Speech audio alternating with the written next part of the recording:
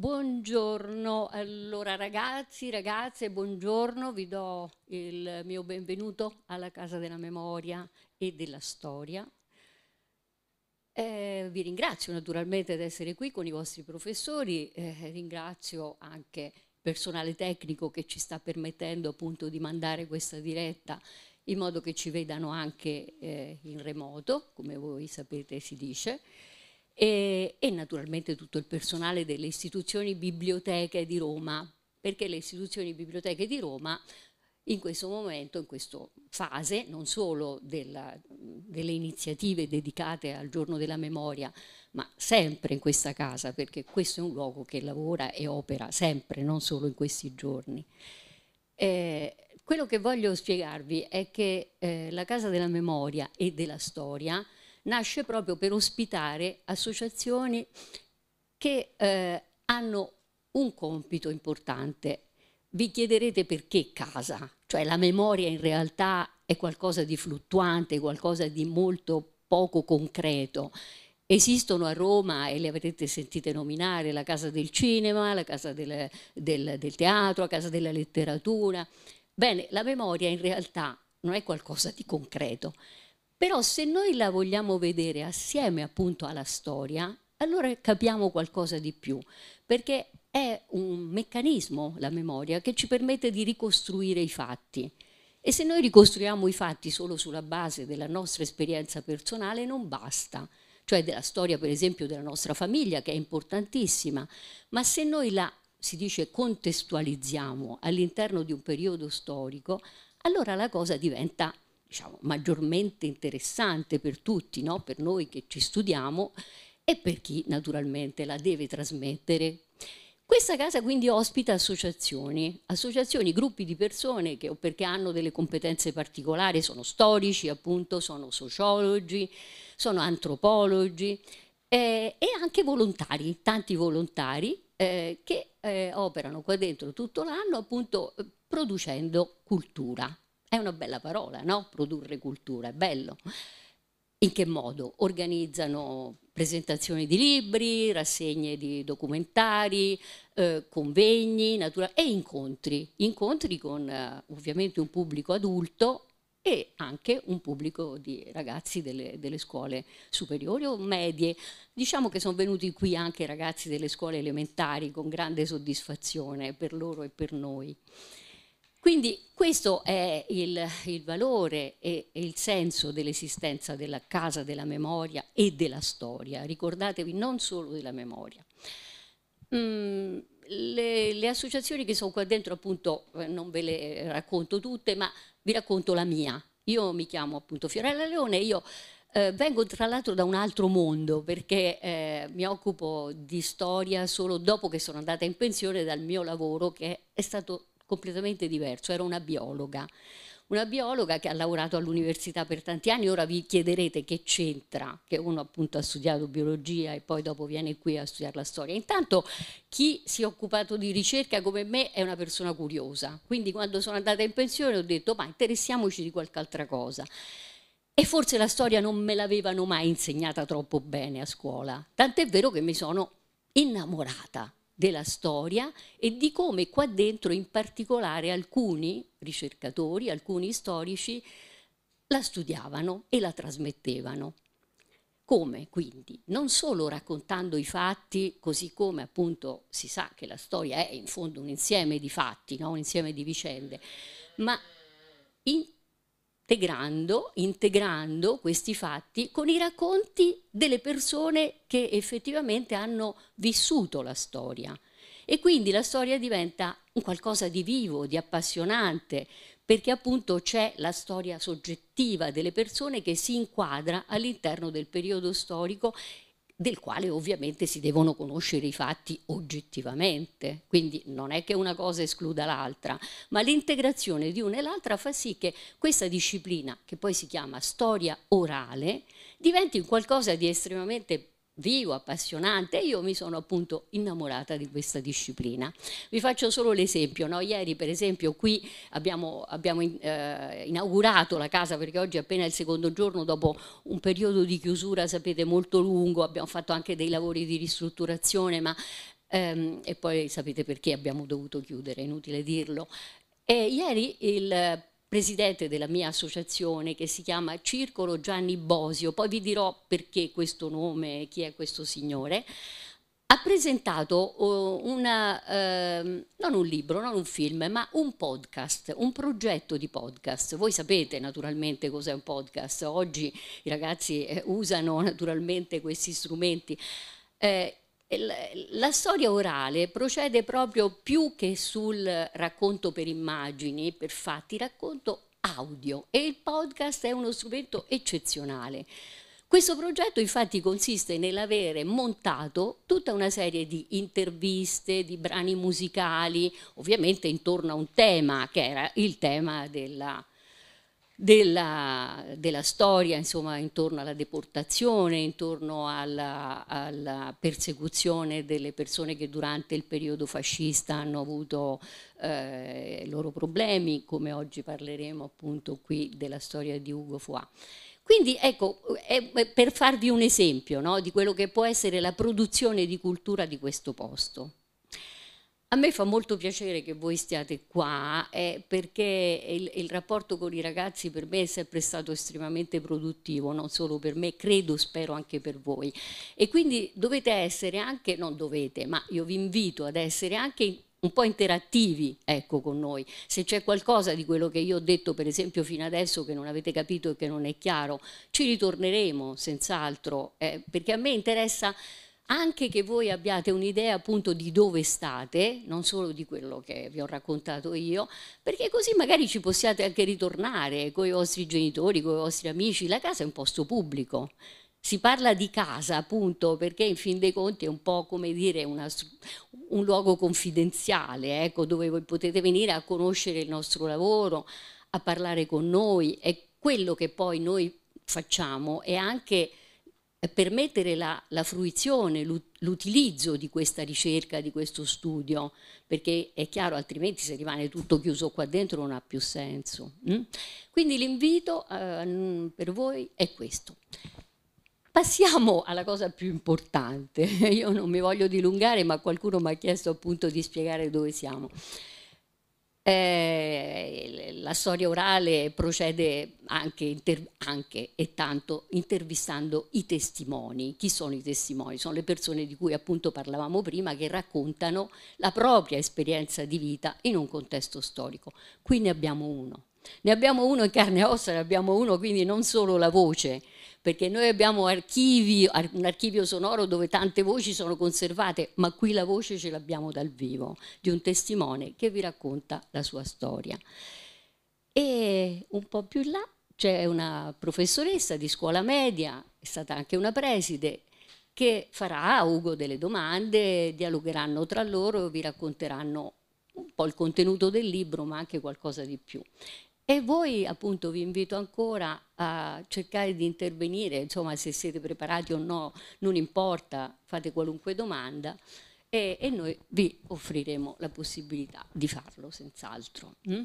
Quindi a te Ugo, passo la parola a te senz'altro o come volete, ma penso prima a te. A questo volevo pregare se Francesco mi faceva un po' d'acqua in caso di necessità. Buongiorno, beh, mm, Fiorella aveva raccontato un po' già con, a grandi linee quello che è l'attività in questa casa. Io, io voglio solo dire, cercherò di, in genere non sono molto lungo nel parlare, però insomma qualche, qualche tratto storico, qualche episodio lo devo, ve lo voglio raccontare anche per così farvi comprendere meglio quello che è stato un periodo orribile della vita mia e di molti di noi. E io non, fatto, non, avevo fatto niente di male, e, ero un cittadino normale, avevo, quando sono state emanate le leggi in Italia contro gli ebrei, contro i cittadini italiani di religione ebraica, io ci tengo sempre molto a fare questa precisazione, perché gli ebrei sono cittadini italiani di religione ebraica, la religione è una cosa, la cittadinanza è un'altra. Però eh, è successo che in Italia Italia fascista, perché nel 1938, che è stata l'emanazione delle prime leggi contro i cittadini italiani di religione ebraiche, sono state emanate nel 1938 e io avevo dieci anni. Avevo dieci anni, è un momento molto delicato della mia vita, che a dieci anni si è bambini ancora. Io avevo finito le elementari e avrei dovuto andare al, alle medie, che allora si chiamava ginnasio. Io sono napoletano, vivevo a Napoli e a casa mia avevamo cinque fratelli, cinque maschi. Io sono quello di mezzo, quindi due più grandi e due più piccoli. Io eh, ero felicissimo di aver finito le elementari, tra l'altro avevo fatto l'ultimo anno, l'avevo saltato, perché pensavo l'anno prossimo io andrò al ginnasio insieme ai miei fratelli maggiori. E voi lo sapete che uno ha il desiderio di andare con i fratelli maggiori è sempre una spinta, perché i fratelli minori sono sempre quelli che eh, si cerca di evitarli il più possibile perché sono più noiosi, sono più capricciosi. I fratelli maggiori uno diventa più importante. Se non che è proprio in quel momento della mia vita che sono state emanate queste leggi e io, io non voglio leggere, vi leggo solo un rigo, perché è un rigo che, che, dice poche cose ma ne dice tante.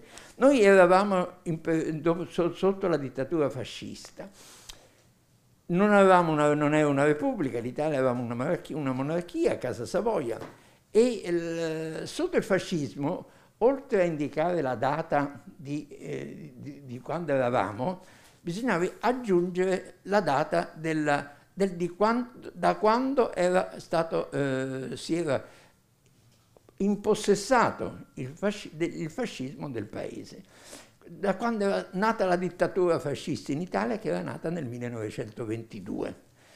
Ecco, la legge, io vi leggo il rigo, Regio Decreto 5 settembre 1942, 1936, anno sedicesimo dell'era fascista. Ecco che bisognava aggiungere questo, questo, questo dettaglio.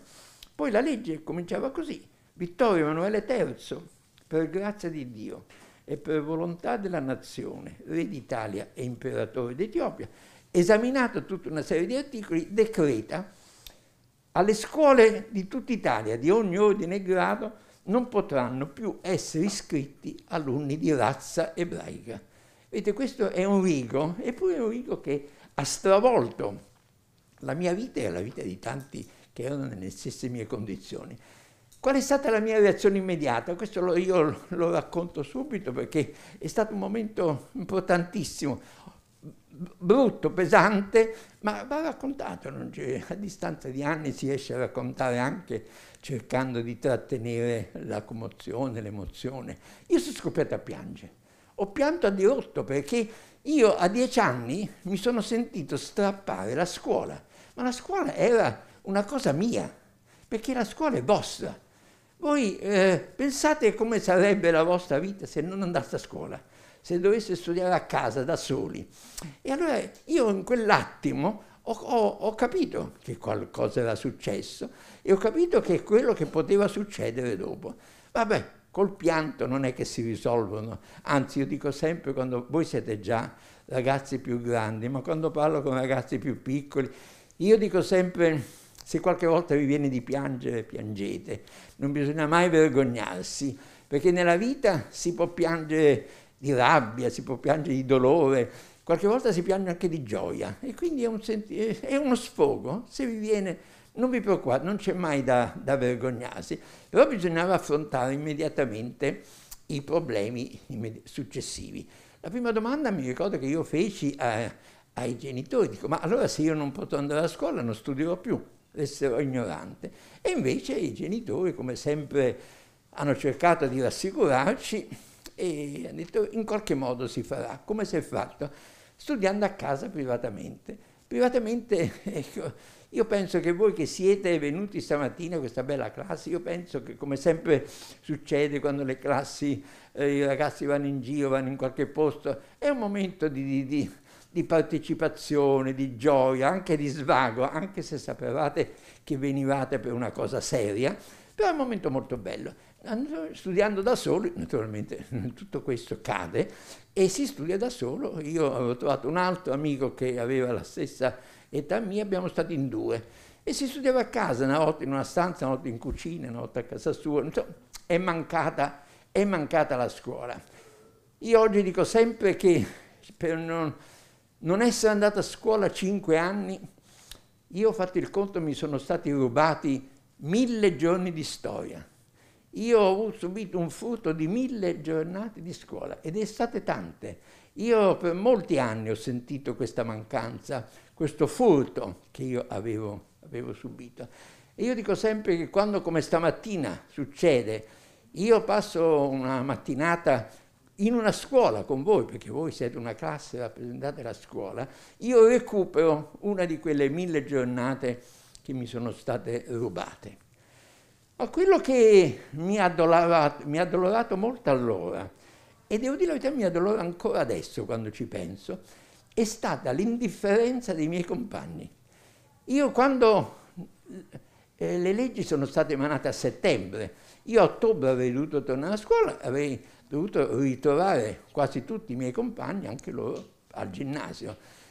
Io non pensavo che qualcuno dei compagni sarebbe venuto a cercarmi, a vedere, a vedere cosa era successo, perché io non ero, più andato, non ero andato al ginnasio.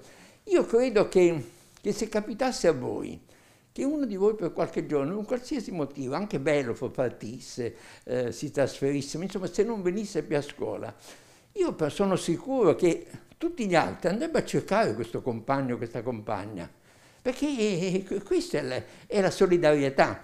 Invece in quel momento, oltre alla, alla rabbia, alla mortificazione di essere cacciato da scuola senza aver fatto nulla di male, ho sentito e ho sofferto per l'assoluta indifferenza dei miei compagni. Nessuno di loro è venuto a cercarmi, nessuno di loro si è fatto vivo e nessuno di loro quando ci siamo rivisti dopo cinque anni mi ha chiesto perché io per cinque anni non ero andato a scuola. Questo, quando io racconto questo, non lo racconto con rabbia, non vorrei che qualcuno pensasse che io ho un risentimento, anzi, io che sono portato al, al buonismo in linea di massima, dico che voglio anche giustificare quei ragazzi perché noi vivevamo sotto la dittatura.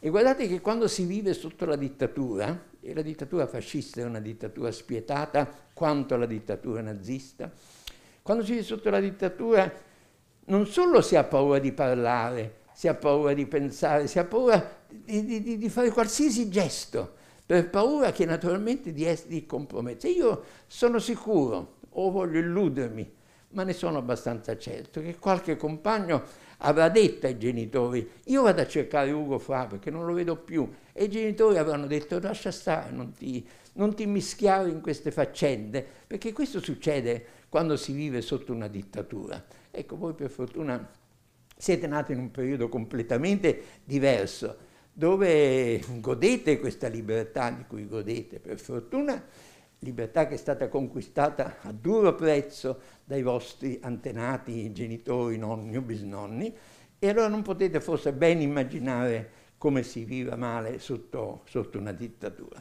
Ecco, questo è stato l'inizio della, di, della storia, dell'inizio di quelle leggi che hanno privato, perché alla, legge, alla prima legge che cacciava dalle scuole i ragazzi, poi è seguita quella che ha cacciato gli insegnanti, i presidi, i bidelli, ha cacciato i medici che, ebrei che lavoravano in un ospedale, li ha mandati via. E I commercianti che volevano, dovevano aprire un negozio, hanno avuto le loro difficoltà e non, e non hanno potuto intraprendere alcuna attività. Quindi i cittadini italiani di religione ebraica sono stati privati dei loro diritti di cittadini e diritti di cittadinanza. Purtroppo questi anni, queste leggi che si susseguirono una dopo l'altra per cinque anni, privavano i cittadini italiani di religione ebraica dei loro diritti civili, però era soltanto l'anticamera del secondo periodo, quello quando l'Italia, che era alleata della Germania nazista, aderì al progetto nazista di eliminare totalmente i cittadini italiani di tutta Europa, di eliminarli, di ucciderli. E allora ecco che a questo primo periodo di privazione dei diritti civili e poi seguiti il secondo più cruento a partire dal 1943, quando i cittadini italiani, di, i cittadini anche di tutta Europa, venivano arrestati, deportati nei campi, nei campi detti di concentramento, ma che io definirei meglio campi di sterminio. Perché? Perché chi veniva trasferito in quei campi veniva ucciso, veniva sterminato e allora non possiamo parlare di campi di concentramento, sono la, la definizione esatta è campi di sterminio. Va detto perché io credo che vanno precisate, non bisogna avere, quando si fanno delle ricostruzioni storiche, bisogna anche avere il coraggio di dire delle verità che scottano o delle, o delle verità che non conosciamo.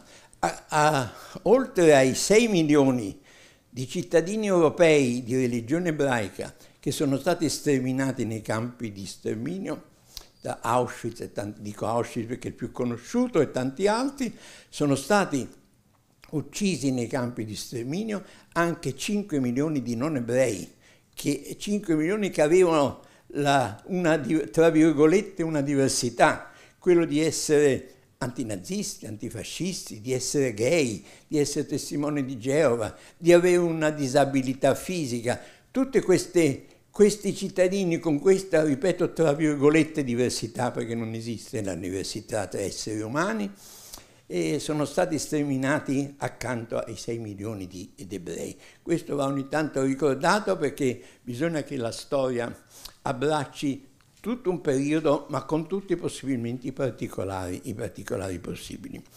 Tornando adesso un momento a, alla partenza, di quello che è stato quel periodo molto duro e molto doloroso, devo dire che eh, studiare privatamente eh, non è divertente perché in due non c'è tempo, non c'è modo di fare qualche, qualche scherzo, qualche cosa, qualche gita, niente, non esisteva, si facevano soltanto alla fine dell'anno scolastico sorgeva subito sotto il problema. Io mi ricordo che chiesi ai miei genitori, ma allora dico, chi mi dice che io dalla prima quest'altro anno potrò andare in seconda. E no, dovrei fare l'esame come privatista.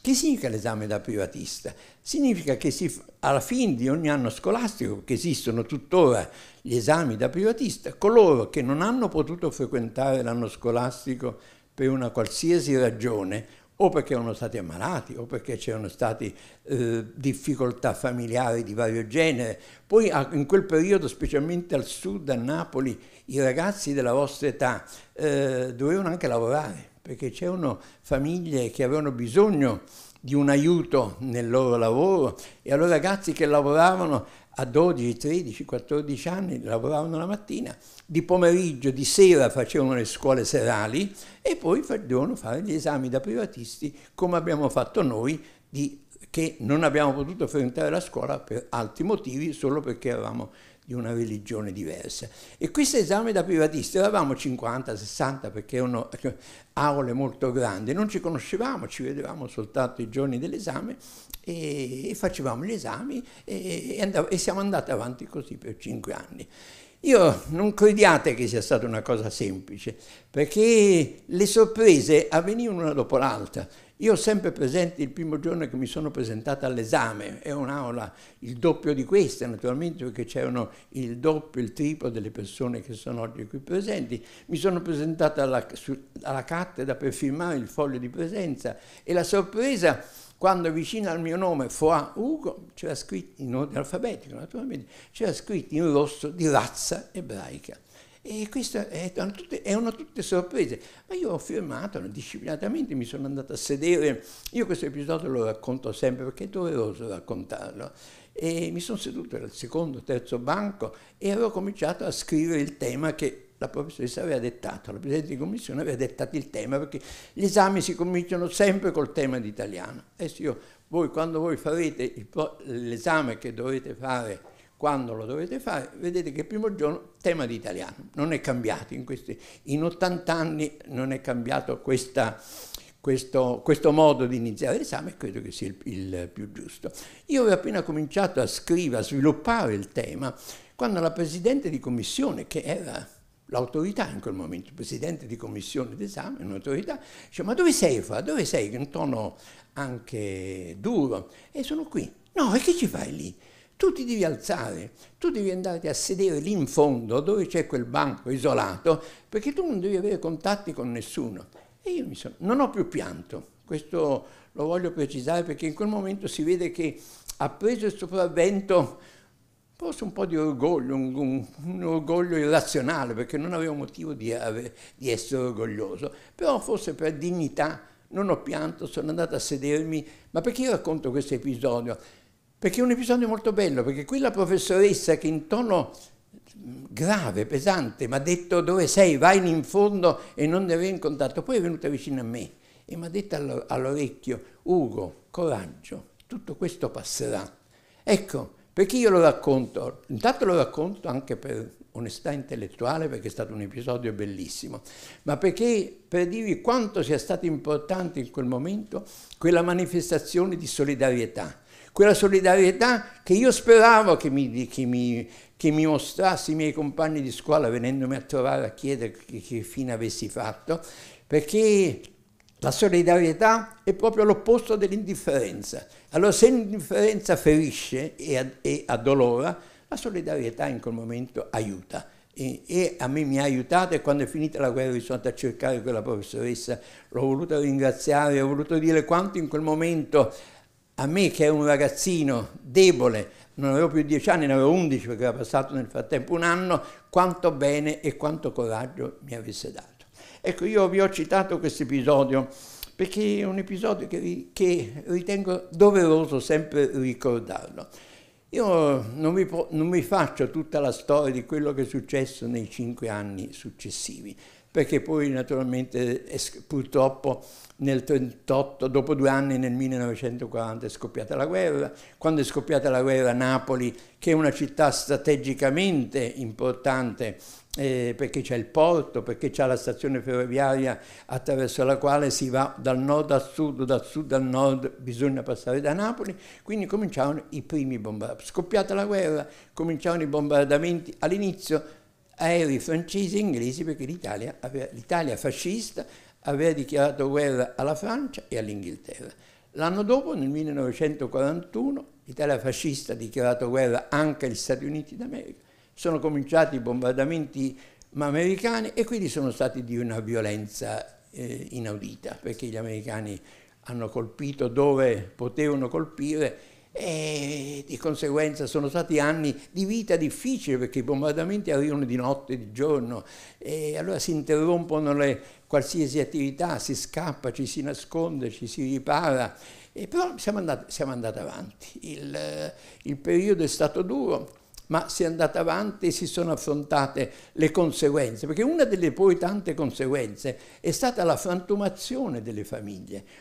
Famig quasi tutte le famiglie di, eh, di, cittadini italiani di religione ebraica si sono sparpagliate, perché naturalmente ci sono state famiglie che hanno avuto anche la possibilità economica di emigrare tutti verso un paese all'estero, un paese libero.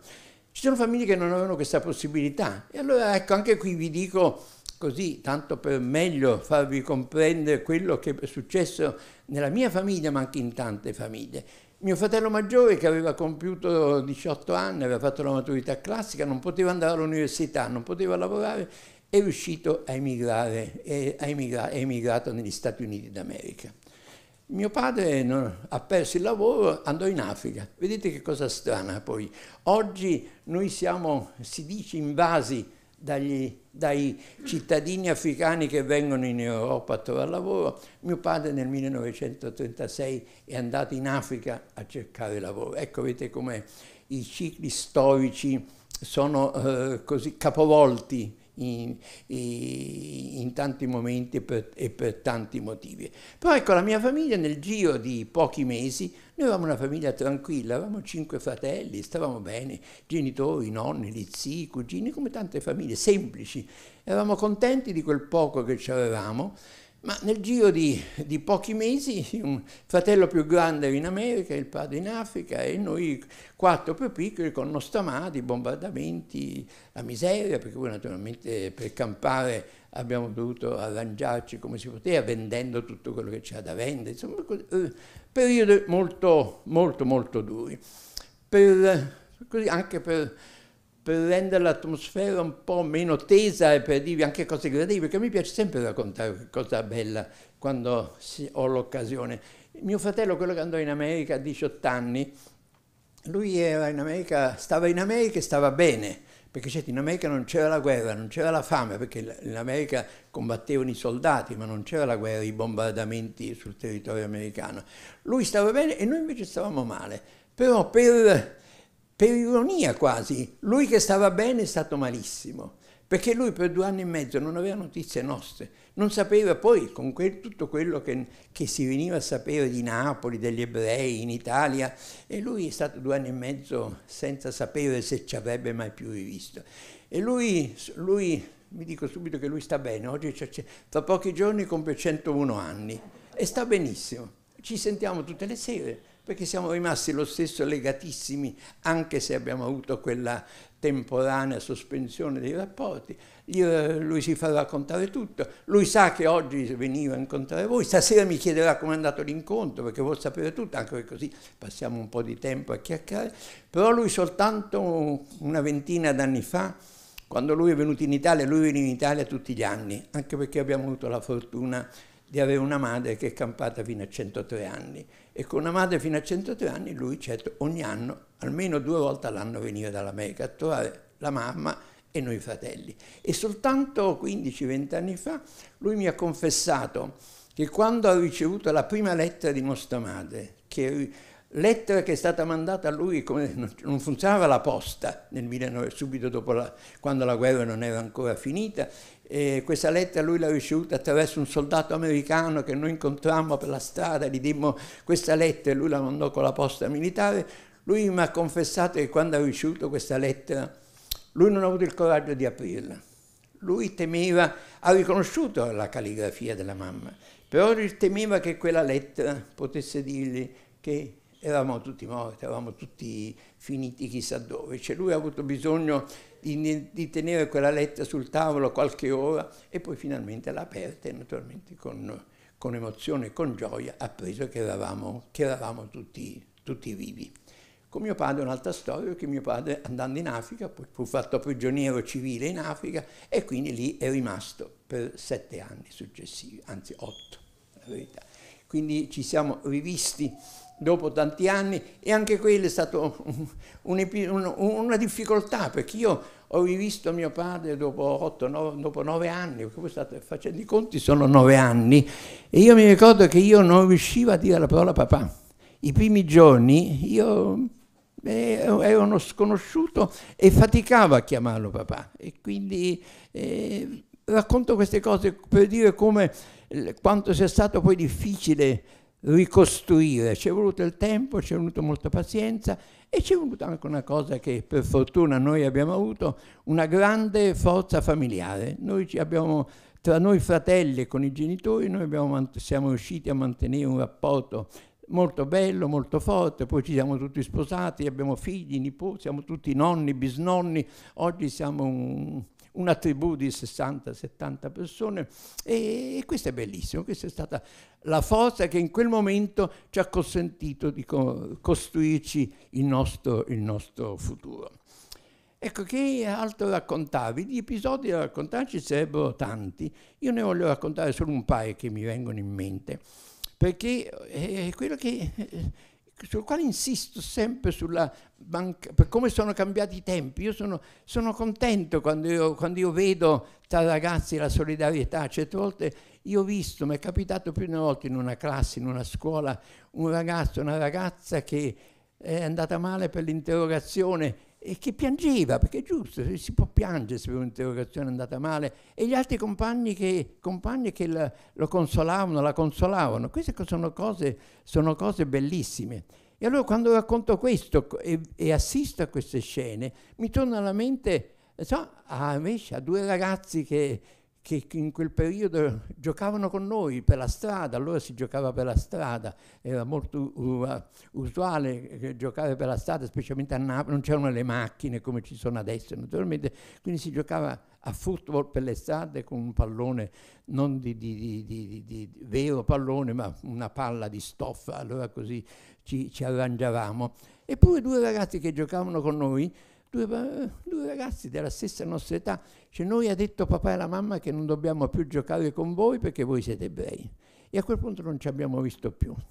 Non ci abbiamo visto più e devo dire anche una cosa molto brutta. Io me ne, me ne pento, mi, dispiace doverlo raccontare perché abbiamo fatto una cosa brutta noi fratelli. Gliene abbiamo date di tutti, li abbiamo messi sotto e gliene abbiamo date di santa ragione. È brutta, la violenza non dovrebbe mai prendere il sopravvento. Io credo che sia l'unica volta nella mia vita che ho alzato, ho alzato le mani. E allora, però, in quel momento, in quel momento credo che eravamo giustificati, perché fu una provocazione troppo forte. Sentirsi dire da compagni di gioco non giochiamo più noi perché siete ebrei. Ma chi, chi, chi, che giustificazione, che motivo è questo? E allora la reazione è stata forte, è stata violenta, ma poi gli abbiamo dato un paio di ceffoni, un calcione e poi è finita, è finita così. Ovviamente non ci siamo mai più frequentati. Che altro, qualche episodio che forse voglio raccontarlo, proprio per anche farvi capire l'atmosfera di quel periodo, perché il peggio poi è venuto accanto alle persecuzioni che riguardavano soltanto i cittadini di religione ebraica, quando i bombardamenti riguardavano tutti, per i napoletani tutti, Napoli è una città di un milione di abitanti, a Napoli gli ebrei erano 300-400, quindi eravamo una, una sparuta, uno sparuto gruppo, tra l'altro non è che vivevamo tutti in uno stesso quartiere.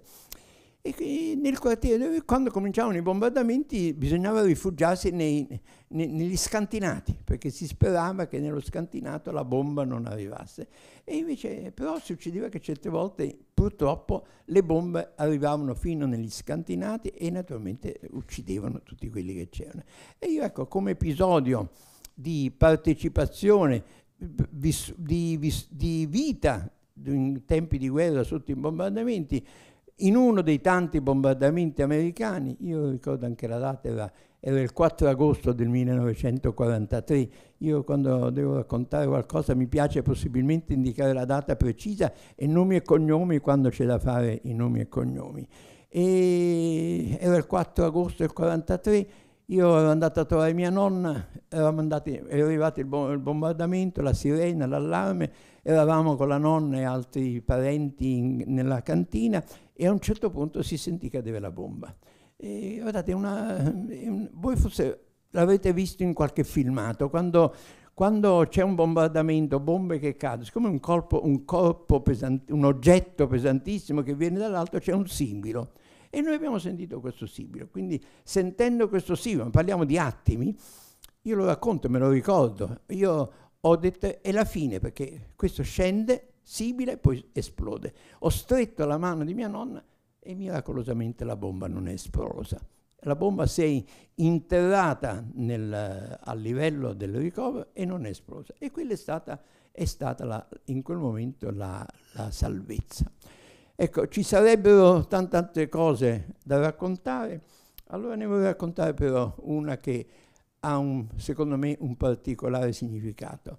Tra le categorie tra le categorie colpite, medici, commercianti, studenti, ci sono stati anche gli ufficiali di carriera. Chi erano gli ufficiali di carriera? Erano cittadini, e quindi cittadini italiani, insisto, di religione ebraica, che per il loro attaccamento alla patria avevano deciso come attività di fare la carriera militare e quindi hanno scelto la carriera militare, avevano la loro divisa, il cappello, l'ordinanza, la, la, la, la pistola, la sciabola, secondo l'arma che avevano deciso e una delle leggi obbligò questi cittadini a restituire tutta la divisa e quello che avevano e di non essere più considerati cittadini italiani di, perché erano indegni di vestire la divisa militare. Questa è stata un'offesa che ha colpito questa categoria e non sono stati pochi coloro che hanno restituito la divisa, hanno, hanno indossato nuovamente gli abiti civili, ma non hanno resistito all'offesa e si sono suicidati.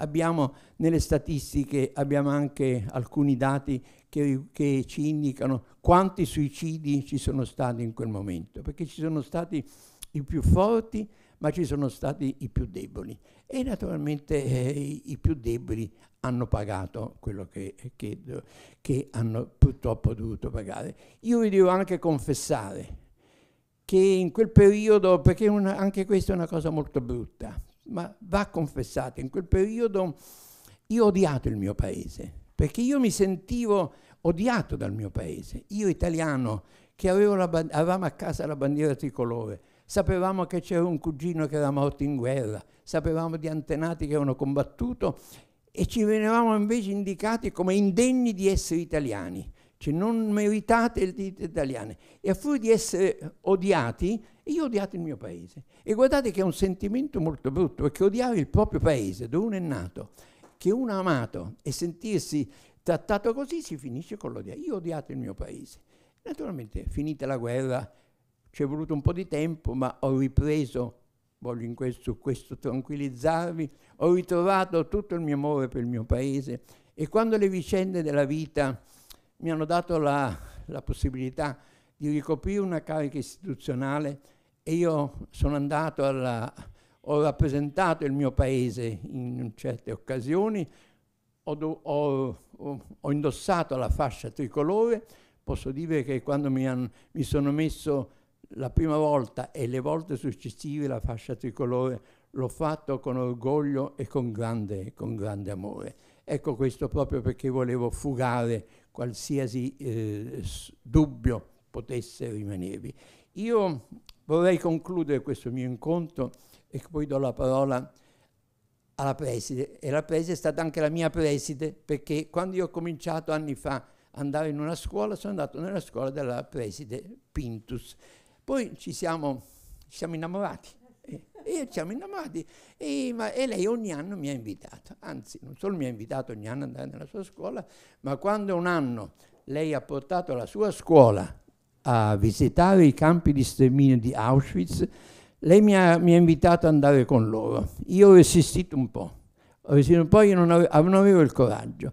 Invece io le sono grato, anzi sono contento di questa occasione per rinnovare la mia riconoscenza, perché io sono andato con, la, con lei, con le, le, docenti, i docenti di quella scuola, erano 100 ragazzi, 115 ragazzi, siamo andati ad Auschwitz, per me è stata una grande emozione, ma io non posso dimenticare quello che hanno fatto quei ragazzi, ecco i ragazzi quando i ragazzi sanno dimostrare la loro solidarietà con i ragazzi quando io, cioè, visibilmente emozionato eh, in quel luogo, quando poi la sera eravamo a cena tutti insieme, quanti di loro andando a letto, sono, prima di andare a letto, sono passati, mi hanno dato una mano sulla spalla.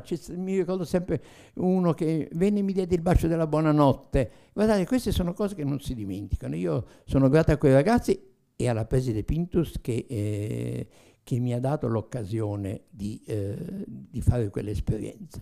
Ecco, io chiudo raccontando invece proprio voglio chiudere con l'episodio, quello lo, lo, racconto sempre in finale perché è un episodio molto bello. Qual è stato l'episodio molto bello? Dopo cinque anni di non scuola, dopo cinque anni con questa scuola rubata, eh, Napoli era stata liberata e io sono tornato a scuola. È stata una giornata memorabile, emozionante. Io sono orientato in una scuola, nella scuola, nel frattempo avevo fatto i cinque anni di ginnasio, ho fatto a scuola gli ultimi tre anni di liceo classico. Quando io sono entrato in, quella, in quell'aula, io ero spaesato, avevo quasi paura, perché vedete, la, la scuola, la classe ha un profumo, ha un odore il gesso, la lavagna, i compagni, i professori, le professoresse danno un profumo alla, alla classe, un, un, odore piacevole. E io ho riprovato questo, questo bellissimo momento, ma ero talmente emozionato che quando quando c'è stato fatto l'appello e il professore ha detto Fraugo, io non, non, ho saputo rispondere subito presente, ho avuto qualche attimo di, di titubanza perché ero ormai abituato per, da cinque anni che quando veniva pronunciato il mio nome veniva aggiunto di razza ebraica. Naturalmente quella volta eravamo, eravamo ormai liberi e il professore non ha detto, ha detto e basta, io ho avuto un, un attimo di esitazione e ho risposto poi presente L'ho risposto con forza forse, con quasi una forza polemica, perché ho, ho, sentito che in quel momento io avevo riacquistato la mia libertà, ma soprattutto avevo riacquistato la mia dignità di essere umano. Vi ringrazio ragazzi.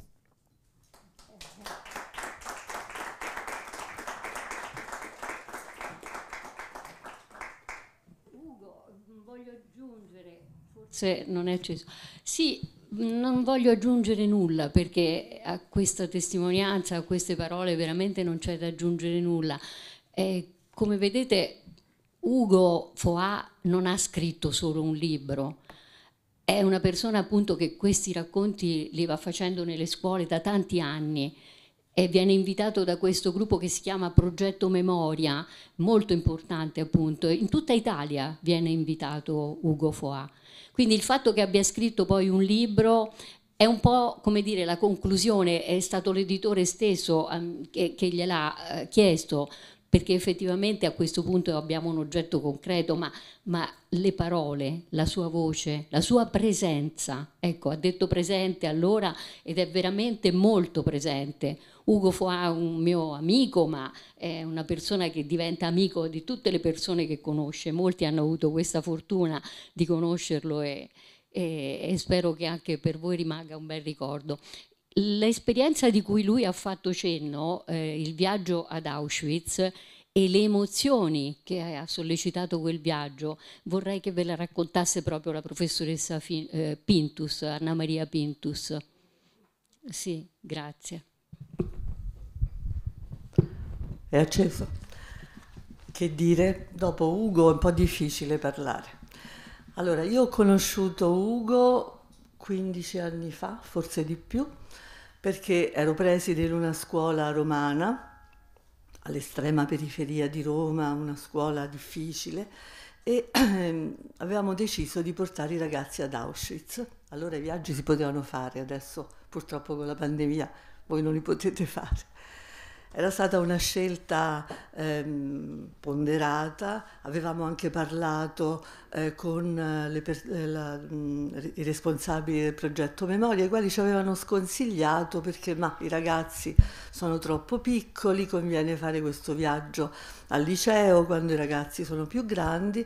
Noi però abbiamo pensato che fosse importante e quindi siamo andati avanti e abbiamo chiesto la presenza di alcuni testimoni per preparare i ragazzi al viaggio e abbiamo conosciuto Ugo ed è stato, come dice Ugo, amore a prima vista.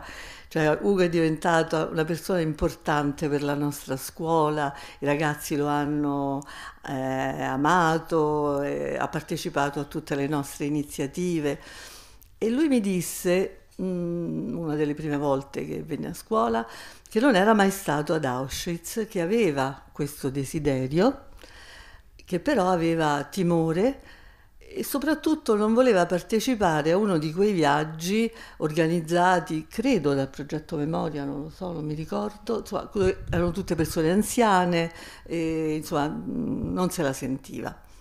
Noi partimmo per Auschwitz l'anno successivo a settembre, dovevamo, stavamo riorganizzando per quell'anno eh, la stessa iniziativa, chiesi a Ugo se sarebbe stato contento, insomma, se, chiesi di partecipare al viaggio insieme a noi e lui mi disse ci devo pensare.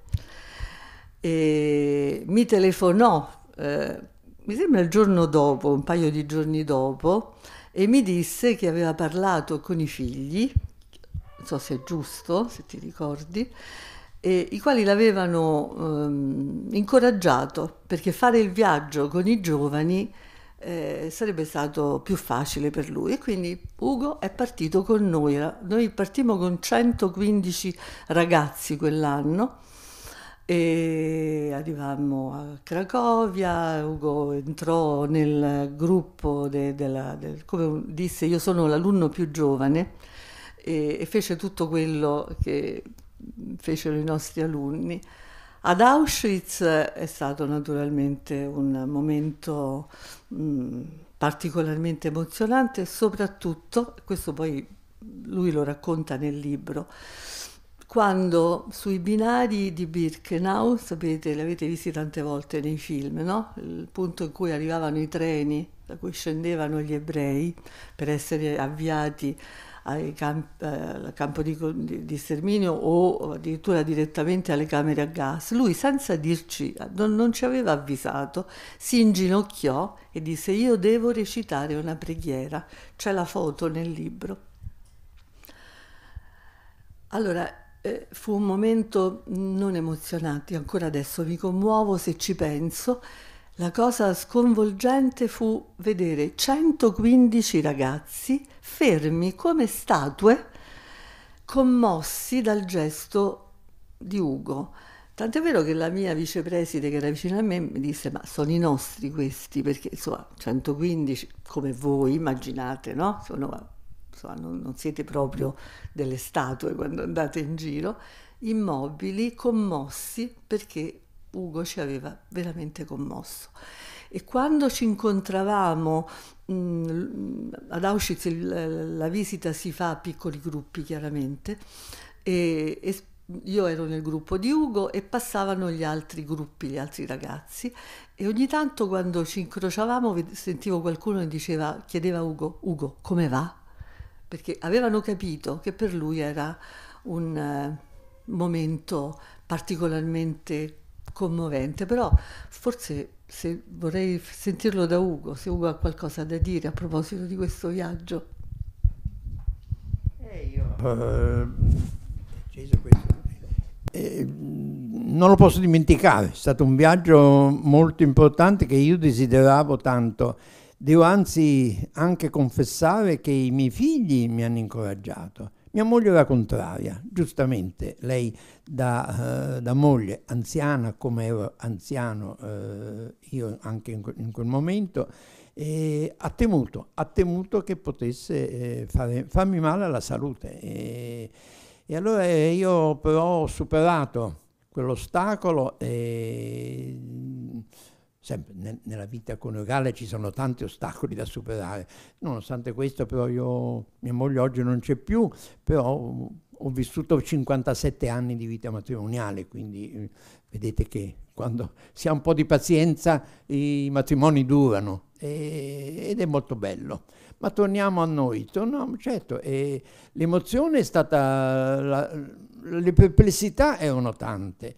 E, ma l'emozione fu, fu, enorme. Io mm, sono tornato, non dico contento, ma soddisfatto di aver eh, fatto un gesto grazie alla preside Pintus e a tutta la sua scuola, perché poi la scuola mi aveva, se con la preside Pintus mai avevamo stabilito un rapporto eh, fraterno, di amicizia, ma è tutta la scuola che mi aveva un po' adottato, eh, professori, bidelli, custodi, ma è, è, ero di casa lì e la scuola era la scuola di lunghezza, lunghezza è una frazione alle porte di Roma sulla strada verso l'Aquila. E quindi è stata una cosa meravigliosa con questi ragazzi che nei due giorni che abbiamo vissuto insieme hanno dimostrato in più occasioni eh, la, loro, la, loro, partecipazione, la loro la comprensione della, della eh, la loro comprensione di fronte alla mia eh, giustificata emozione. Ecco, grazie. Una, una piccola chiusa perché vi abbiamo occupati per molto tempo, non so. Um, di fronte a un testimone che racconta la sua storia, non è possibile non credere ai fatti. E voi sapete che oggi quello che si, si sente un diffuso sentimento di, di odio nei, nei confronti dei cosiddetti diversi, degli ebrei, dei neri. Noi in questa casa abbiamo anche parlato molto spesso di fenomeni come questi, dell'antisemitismo, del razzismo, perché fare storia significa anche parlare del presente e quindi interpretarlo alla luce delle cose passate. Ebbene, perché lo dico? Quando si sente un testimone, si sente la verità dei fatti. E, e com'è possibile non crederlo? In questa casa hanno parlato persone che hanno subito la persecuzione, lui è un sopravvissuto alle persecuzioni, nel senso che non ha avuto la, la disgrazia di essere stato eh, appunto eh, eh, portato via, ma quante persone della sua famiglia e quanti in questa casa lo sono stati hanno parlato e delle loro voci, come vi dicevo, abbiamo la registrazione. C'è addirittura in questa casa un archivio sonoro che conserva queste registrazioni, e queste e di tanti altri. Pensate, in questo archivio ci sono anche, oltre che appunto le interviste fatte ai testimoni, canti, canti popolari, canti politici, canti sociali, perché tutto ciò comporta e, e serve a costituire quel quadro in cui poi le cose sono avvenute e non è possibile più non crederle. Quindi a questo punto, ecco, se qualcuno vi dice eh, possiamo avere qualche dubbio sul fatto che magari certe cose non siano accadute, purtroppo esiste anche un negazionismo dei fatti che stanno, che, che, di cui stiamo parlando e che sono accaduti. Qualcuno nega Auschwitz addirittura, quello che è accaduto lì. E eh beh, quando si sente parlare di queste cose non si può più non credere questo, con questo eh, forse eh, vi devo salutare, vi invito anche se volete appunto a ragionare ancora noi, con noi su questi temi, se volete il tempo non, non ci manca. E, e, e quindi prego. Se qualcuno vuole, portiamo lui un microfono, portiamo qui a voi un microfono. Ci sono ragazzi che vogliono fare domande, così diamo un po' di spazio anche a loro. Eh, sì. Potete, non so se avete delle domande sia su quello che così più o meno vi eravate magari anche preparate, ma anche qualche curiosità che volete togliervi dal racconto che ho fatto io. Potete, a me potete chiedermi qualsiasi cosa senza la minima preoccupazione. Sono delle mani alzate, uno in prima fila e uno in ultima fila. Cominciamo dall'ultima perché l'ho alzata prima. Eh, ad esempio,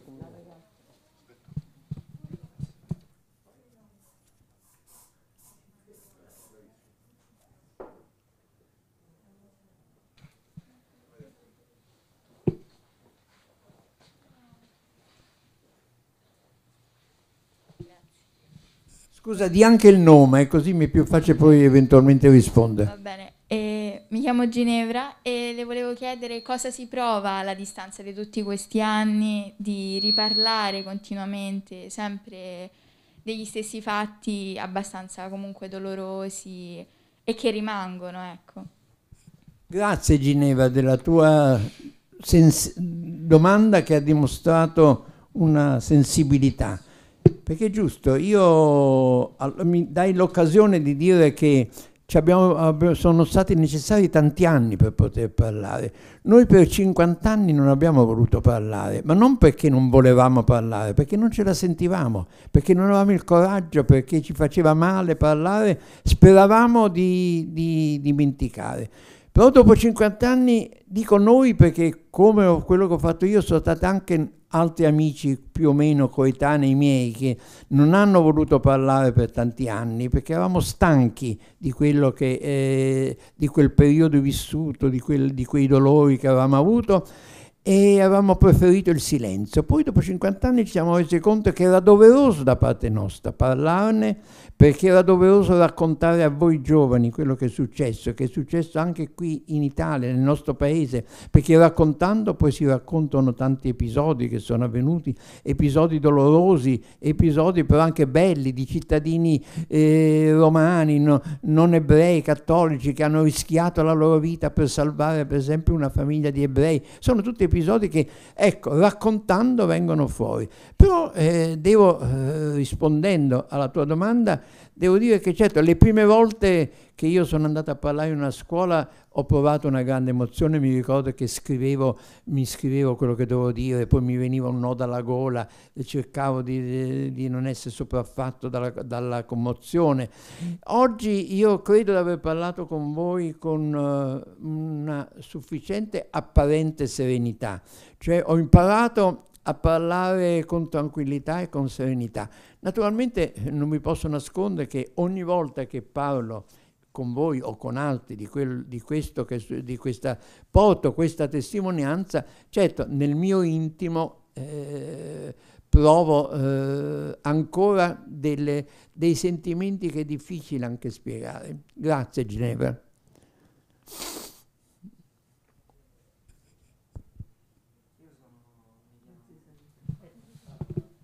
Mi, mi, chiamo Lorenzo e mi chiedevo se eh, dopo l'emanazione delle prime leggi razziali, ovvero il divieto di andare a scuola, lei immaginava che alcune persone potessero arrivare addirittura alle deportazioni e ai campi di sterminio, perché ormai sappiamo tutti com'è andata, sa, conosciamo la storia, ma al tempo non credo che si poteva immaginare tanto. Hai ragione, hai centrato il problema, non si poteva immaginare, perché noi soltanto dopo ci siamo resi conto che veramente insomma siamo stati eh, molto vicini all'essere a, a far parte di un massacro, perché proprio l'altro giorno leggevo, adesso mi ricordo quale giornale, ha, fatto, ha riportato la storia di, eh, di, quando nel 1942 si riunì in Germania lo Stato Maggiore tedesco e decise in quella seduta 1942, quindi noi eravamo vivi ma ignari, loro decisero che gli ebrei di tutta Europa dovevano essere uccisi, dovevano essere eliminati dalla faccia della terra. No, noi però non ci rendevamo conto, perché intanto perché la vita era diventata più difficile e c'erano problemi di, di, di, sopravvivenza quotidiana. Poi non c'erano i mezzi di comunicazione, quindi tante le notizie non arrivavano, non c'era la radio, non c'era la televisione, ne parliamo, non c'era il telefono, non c'era la posta, niente. Ma noi tante cose le abbiamo sapute a guerra finita perché quando a guerra finita noi scoprimmo che tanti parenti, tanti amici erano stati arrestati e non, e non tornavano più. E allora si, si, chiamavano i deportati. Cioè, quello non c'è perché è stato deportato. E poi la parola deportato è stato sostituito dalla parola sterminato, perché quelli che sono stati arrestati sono stati deportati perché sono stati portati nei campi di sterminio, ma lì sono stati, sono stati sterminati eh, certe cifre a modo esempio dico che il 16 ottobre a Roma arrestarono 1022 cittadini nel quartiere romano, quello vicino alla sinagoga del ghetto, di questi 1022 ne sono tornati vivi soltanto 16. Ecco, questi sono i rapporti tra... Eh. Però noi che non, che non avevamo vissuto direttamente quell'episodio, eravamo forse incoscienti, ma eh, non sapendo le cose, ma eh, anche a fine guerra, quando cominciavano ad arrivare le notizie, noi pensavamo che non fossero vere e che queste persone che erano state arrestate prima o poi sarebbero tornate. E si vive dei periodi così di speranza e quindi il, il periodo su, quando è tornata la libertà, la liberazione, eh, ci sono stati due anni di, di, di, ricerche di parenti, di amici di cui non si avevano notizie, si, si andava a, a, Milano, a Torino, a Livorno a cercare quello, quell'altro. Ah, dici sì, l'hanno arrestato, ah sì, l'hanno arrestato lui e tutta la famiglia, li hanno portati via, ma chissà dove. Ecco, eh, tutte, purtroppo tutte eh, verifiche sono state fatte e poi purtroppo si è arrivate a certe conclusioni. Grazie. ci sono ancora domande? Ci sono ancora domande? Sì? Mi hai detto Michele, scusa, no? Lorenzo. Io mi chiedevo se a distanza di tutti questi anni provava rabbia o risentimento per le, i responsabili di queste cose, di, di questi orrori della guerra praticamente. Beh sì, non posso fare a meno di confessare che provo risentimento. Provo risentimento perché sono stati insomma dei, de, degli assassini, ma degli assassini a freddo, eh, proprio studiati a tavolino e allora ecco oggi quando mi è capitato in qualche scuola, soprattutto nelle scuole superiori, perché eh, alla vostra età si è più buoni, poi certe volte qualcuno diventa cattivo crescendo, succede. E non mi è capitato in qualche liceo qualche, dagli ultime file qualcuno che si è alzato e ha detto ma lei ha raccontato tante cose, ma saranno vere? E ecco, allora questo, questo che eh, evidentemente era proprio la rappresentanza di una mentalità negazionista. E io certo di fronte a questo sono stato calmo. Credo che alle volte la mia espressione riesce a trasmettere il, il, eh, quello che io provo. L'ho guardato con disprezzo, non posso averlo guardato con benevolenza. E allora in quei casi io mi, che cammino sempre documentato, stavolta con voi mi sono portato pochi documenti perché sapevo che l'incontro sarebbe stato questo, a questo livello piacevole.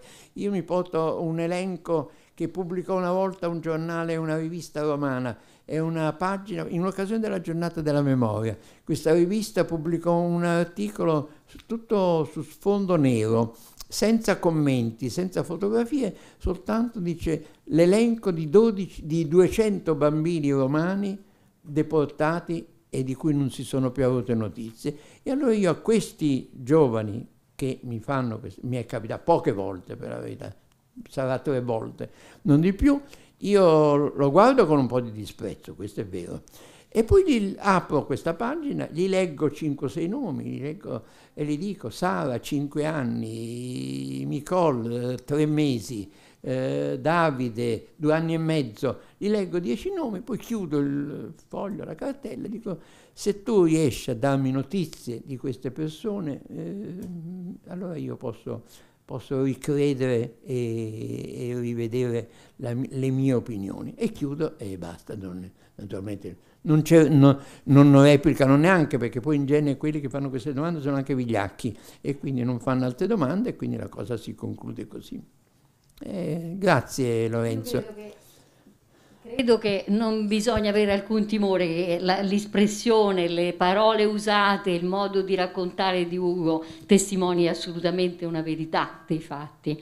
Mi veniva in mente una cosa, voi in questo periodo eh, e anche i vostri insegnanti, i vostri dirigenti, eh, eh, sono molto impegnati sul dirimere le questioni sanitarie, no? poi c'è la faccenda della famosa didattica a distanza e qua si parla di un allontanamento dalla scuola che, che poi insomma, è un po' il nucleo del racconto di, di, Ugo, attorno a cui c'è tutta la sua storia, ma l'allontanamento dalla scuola per voi oggi che cosa vuol dire? Pensate quanto è cambiato il modo di, diciamo, anche di, di, di affrontare l'allontanamento dalla scuola per alcuni di voi addirittura potrebbe anche non essere così disdicevole, addirittura meglio, no? Però certamente il valore di stare assieme ai compagni, di vivere quotidianamente il rapporto con i professori in un ambiente che addirittura ha un odore, certo voi il gesso oggi forse non lo usate tanto più, usate i computer, però è vero che entrando in classe c'è un'atmosfera che comunque non la potete eh, realizzare eh, altrove se non in classe. Quindi pensateci quando vi tocca fare la didattica a distanza. Lavagne e gessi sono intramontabili, benissimo, e manco dalla scuola da un po' di tempo. Vi, Scusa, no, tu devi dire. No, no, io per carità. Volevo no, dire, mi piace che parlando vengono in mente altri episodi. Questo non è un episodio vissuto da me, ma mi è stato raccontato in occasione di uno di, uno di questi incontri che, che, è successo in un liceo romano. Un liceo romano eh, c'erano 12 studenti di religione ebraica. E allora venne la circolare eh, interna che questi 12 studenti, do, che era appena iniziata la scuola, nel, sempre parliamo del 1938, devono essere eh, invitati a non, a non venire più a scuola.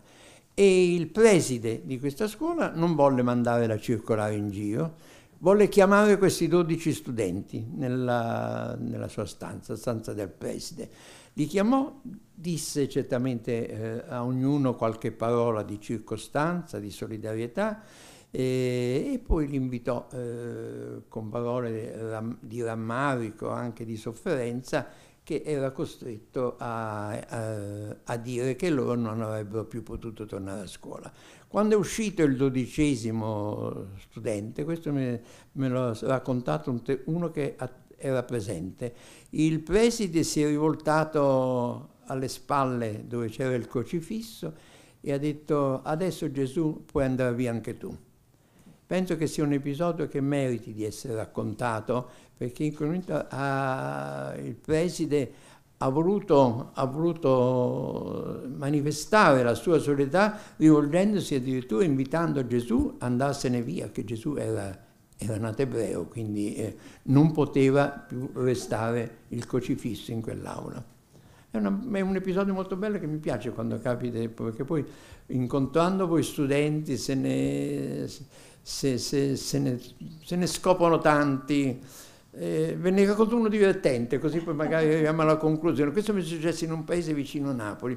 In un paese vicino a Napoli c'è un ragazzo molto sveglio, eh, un po' grassottello, eh, che stava seduto lì al centro.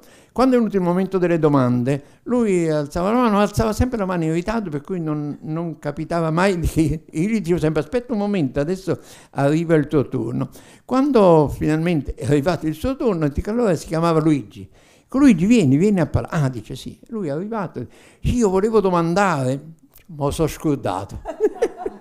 cioè lui nel frattempo si era dimenticato quello che aveva fatto la domanda e, e, e spontaneamente dice ma sono scordato, non ti preoccupare, torna quando ti viene in mente fai il segno. E lui dopo un po' ha alzato la mano di nuovo, ah sì, volevo chiedere e fece la domanda carina, molto bella come quelle che ha fatto fatto, ha fatto Lorenzo, che ha fatto Ginevra e come fanno tutti i ragazzi che io ho il piacere di, il piacere di incontrare.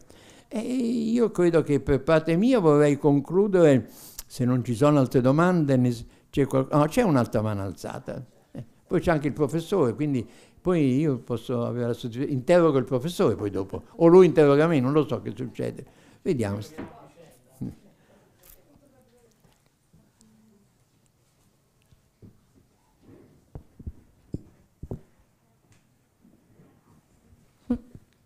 Sono Carolina e volevo sapere lei come reagì quando scoprì che le persone che erano state, diciamo, arrestate in realtà furono portate nei campi di concentramento e non tornarono, diciamo, perché... E io naturalmente non ho assistito a quegli arresti, perché poi purtroppo se uno assisteva ti prendevano. Certo, ho assistito ai racconti, ai, ai filmati eh, che sono successivamente si, si, sono stati programmati, esposti, raccontati, e certo con, eh, con grosso eh, con grosso, più che, più che, dolore, veramente con, con, angoscia, perché mi sono compenetrato di quello che hanno vissuto questi concittadini, spesso amici, qualche volta parenti, che, così, che poi erano increduli perché poi venivano arrestati, portati, non, loro non sapevano dove, poi dopo venivano a sapere e, e vivevano tutto il resto fino alla tragica, alla tragica, conclusione. Certo, noi tutti questi racconti che mano a mano sono venuti fuori negli anni successivi eh, hanno provocato angoscia in molti di noi e questa è la ragione per la quale poi per 50 anni non volevamo parlare, proprio perché ci sembrava di volevamo il desiderio di, di, di, di liberarci di questi, di questi racconti, di queste cose che erano accadute e che potevano accadere. E poi dopo 50 anni, per fortuna, io credo che sia stata una fortuna perché sia, era doveroso che noi si portasse la nostra testimonianza e anche per noi è un po' liberatorio perché parlare è anche molto bello. Io vi assicuro che quando io incontro una scuola, io mediamente adesso purtroppo a distanza quasi tutte. In qualche scuola vado, beh, a voi vi incontrate di, di persona, ma eh, fino a, a, due anni fa che andavo in giro dove ero invitato naturalmente, eh, generalmente io andavo in 30-40 scuole in tutta Italia e devo dire la verità sono stati incontri sempre molto belli, molto piacevoli, eh, che, che mi, mi, hanno aiutato a liberarmi di tanti, di tanti ricordi dolorosi. E adesso il professore vuole interrogarmi e allora eh, si invertono i ruoli. Appunto sono Stefano Scaccia, volevo ringraziarla innanzitutto e ringraziare qui chi ci ha ospitato perché appunto è uscire da scuola e incontrare direttamente appunto i testimoni è qualcosa di prezioso. E quindi di nuovo ripeto la mia gratitudine anche alla collega Staderini che ci ha messo in contatto, proprio perché lavoriamo molto su questo e, e una cosa che dicevo appunto ai ragazzi anche in questi giorni è questo discorso del negazionismo. E allora una cosa eh, a cui tengo molto è eh, ricordare che loro stessi devono diventare testimoni e questo è un po' il senso secondo me della memoria che non è un semplice ricordo o un, lo studio di un fatto ma diventare loro stessi andando a visitare anche i luoghi eh, ricordo appunto lo scorso anno nonostante la pandemia eh, con un gruppo della terza media siamo stati alle Fosse Ardeatine, è un altro luogo doloroso di Roma. E è importante perché vedere questi luoghi, leggere dei nomi, come diceva prima, eh, crea una coscienza per tutti i ragazzi che è importante appunto, fanno dei cittadini e dei cittadini democratici, giusti, che riconoscono il bene dal male anche di fronte a una legge sbagliata, perché quel momento che Ugo ci ha raccontato è stato un momento in cui appunto lo Stato ha rinnegato alcuni dei loro figli, dei suoi figli e quindi eh, a, aver trovato lo spazio per ospitare, per reagire a questa ingiustizia secondo me è importante, quindi ricordarlo. E poi l'altra cosa che volevo dire è che sono eh, molto contento di questo incontro tra generazioni e quindi che i ragazzi de della scuola media incontrino una persona anziana eh, perché c'è tanto da imparare perché appunto ecco, è una cosa che viene detta molto, per esempio anche da Papa Francesco, questo discorso che c'è questa cultura dello scarto nei confronti delle persone anziane che sembrano aver dato qualcosa e siccome purtroppo si ragiona sempre in termini economici, invece quello che le persone più grandi, più anziane possono raccontare e appunto è una cosa talmente preziosa eh, che è importante, ripeto, eh, vivere, fare propria e quindi poi a loro volta loro raccontarla ai loro figli, quindi creare questa catena di trasmissione perché è importante che non si ripeta più. Quindi ancora grazie a tutti, grazie per l'ospitalità e a presto, speriamo di rincontrarla perché noi...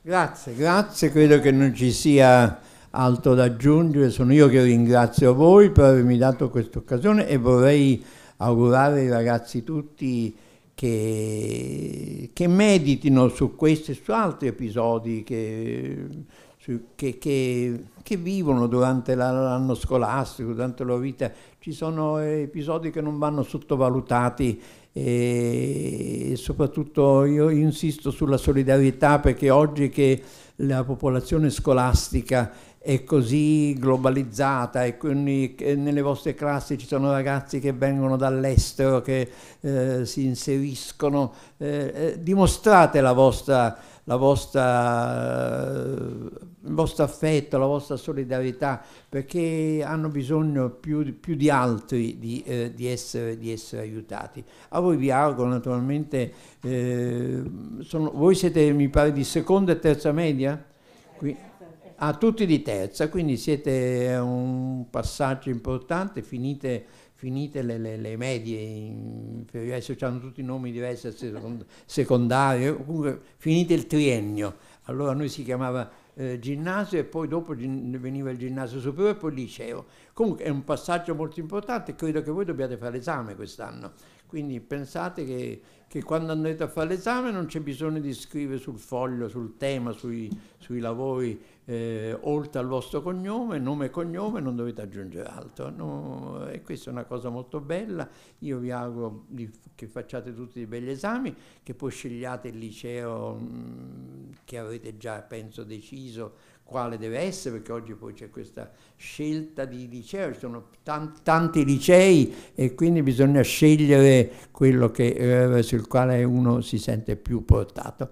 Ma mi sembra di poter dire così mi arrogo il diritto di dare un giudizio, è una bella classe, sono sicuro che farete delle belle scelte, io vi auguro un futuro più bello, più sereno, più piacevole possibile e soprattutto che se ci saranno momenti difficili eh, si superano. Guardate che anche c'è stato più di un momento nella, nella, vita, nella mia vita che ho pensato che ormai era tutto finito, poi invece eh, si è superato, se, eh, abbiamo ricominciato a ricostruire mattone per mattone e oggi posso dire sono son contento, sono soddisfatto, ho una bella famiglia, ho figli, ho nipoti, ho bisnipoti, quindi meglio di così non mi, non mi poteva andare quindi altrettanto auguro a tutti voi. Grazie.